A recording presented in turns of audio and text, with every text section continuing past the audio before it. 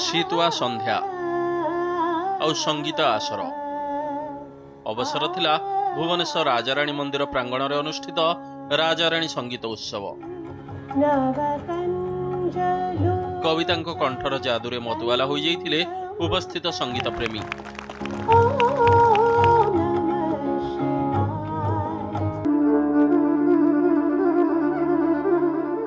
ପରେ ପରେ ମଞ୍ଚକୁ ଆସିଥିଲେ ପ୍ରଖ୍ୟାତ ସଙ୍ଗୀତଜ୍ଞ ତଥା କବିତାଙ୍କ ସ୍ୱାମୀ ଡକ୍ଟର ଏଲ୍ ସୁବ୍ରମଣ୍ୟମ।